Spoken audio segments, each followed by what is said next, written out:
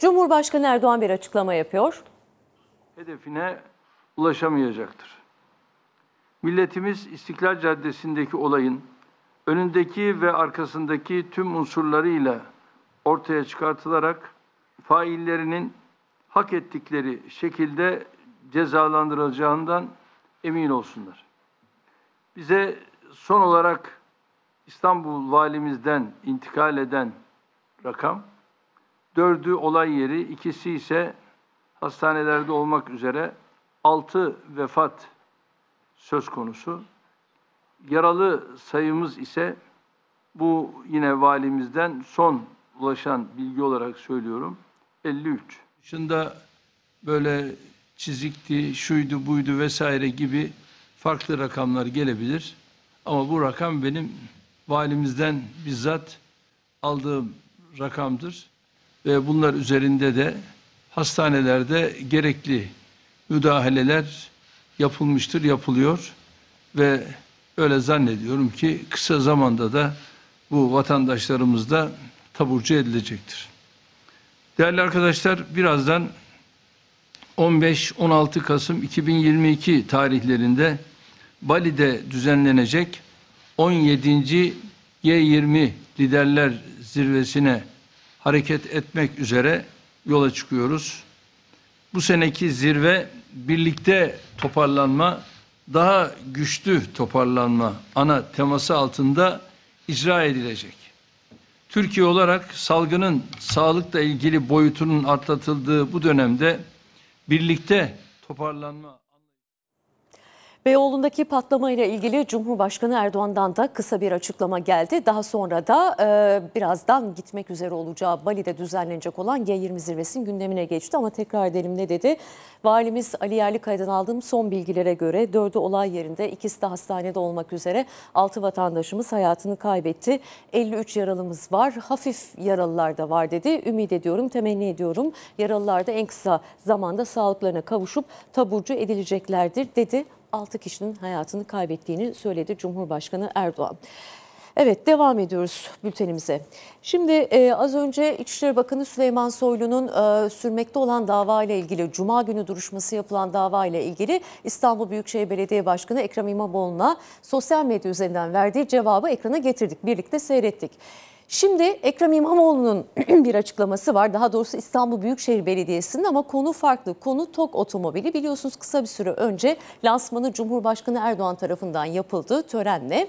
E, ve e, ön siparişini de vermişti Cumhurbaşkanı Erdoğan. Rengine de eşim Emine Hanım karar verecek demişti. E tabi ön sipariş alınabiliyor diye İstanbul Büyükşehir Belediyesi de çok sayıda ön sipariş vermek istedi. TOK siparişi vermek istedi ama kabul edilmemiş efendim denmiş ki sadece Sayın Cumhurbaşkanı ön sipariş verebilirdi. Verdi. 23 Şubat'a kadar sipariş almıyoruz. 3 yıl sonra Bursa Gemlik fabrikasından piyasaya böyle çıktı TOG. Türkiye'nin yerli ve milli otomobili. Ön siparişler 2023 Şubat ayında başlayacak. O listeye İstanbul Büyükşehir Belediyesi de adını yazdırmak isteyenlerdendi. Ama talep reddedildi. Tarihi Yarımada'yı e, biz e, karbon salınımı sıfır hale getirmek istiyoruz 2030 yılında. Burada kullanmak istediğimiz hizmet araçlarını TOG'dan almak istiyoruz diye başvurumuzu TOG'a e, yapıyoruz. TOG'un yetkilisiyle bu konuyu telefonda görüşmek istedim ama henüz benimle irtibat kurmadılar. TOG sipariş sürecine ilişkin bir açıklama yayınladı ön siparişin sadece Cumhurbaşkanı Erdoğan'dan alındığını, başka kimseden alınmayacağını açıkladı.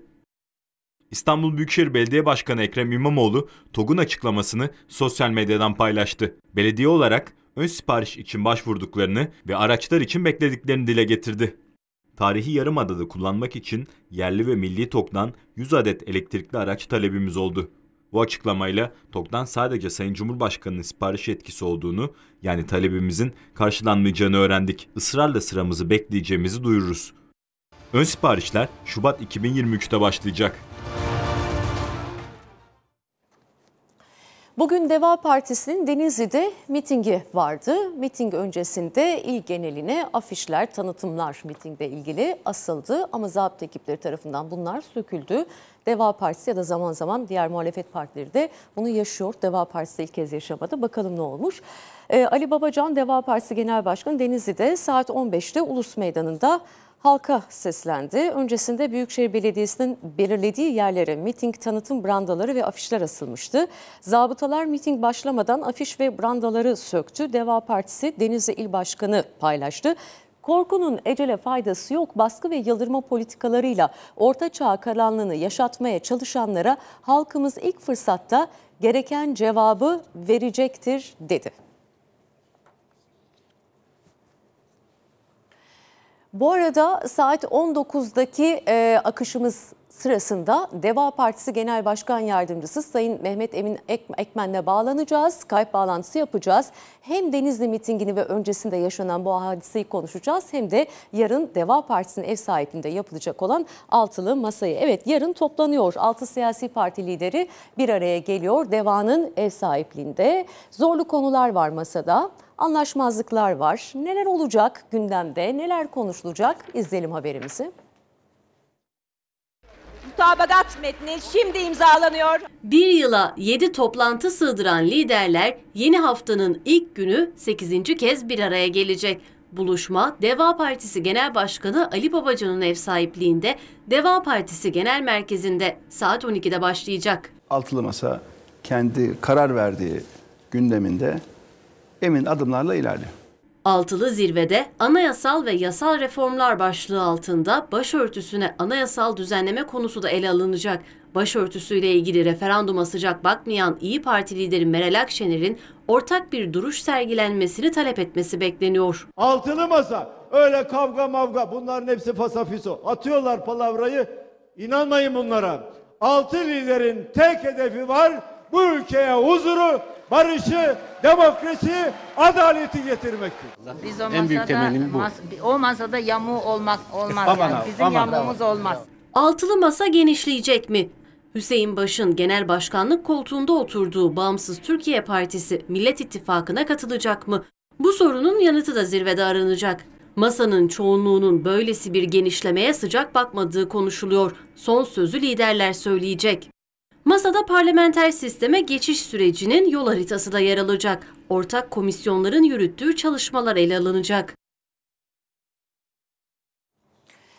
HDP'nin eski eş genel başkanı Selahattin Demirtaş Edirne cezaevinde tutuklu bulunuyor. Anne ve babası rahatsızlandığı için özel bir izinle Diyarbakır'a götürüldü. Onları görebilmesi için özel bir jetle. Fakat bundan e, tabii ailesinin ve avukatlarının da haberi yoktu. Geniş e, güvenlik önlemleri ve bir gizlilik içerisinde oldu bu ziyaret. Babasıyla yaklaşık 45 dakika görüşebildi Selahattin Demirtaş. Peki bu nasıl mümkün oldu? Ee, Birazdan döneceğiz habere. Tekrar Cumhurbaşkanı Erdoğan'ı dinleyelim.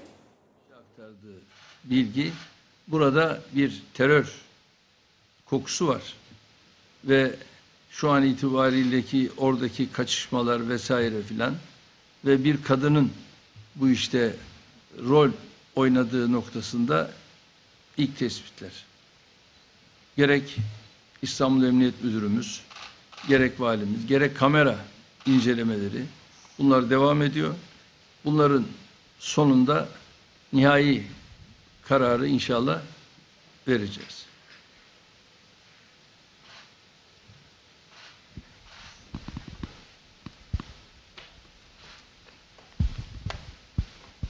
Efendim merhabalar. 24 muhabir Esma Murat ben. Ee, efendim ben e, şeyi sormak istiyorum. Özbekistan zirvesi sonrasında gazetecilerin sorularını yanıtlamıştınız. Türk devletlerindeki FETÖ yapılanmasıyla mücadeleye değinmiştiniz ve şöyle bir sözünüz olmuştu. FETÖ'yü Biden saklıyor demiştiniz. Bu kapsamda acaba Amerika Birleşik Devletleri Başkanı Biden'la bir görüşmeniz olacak mı?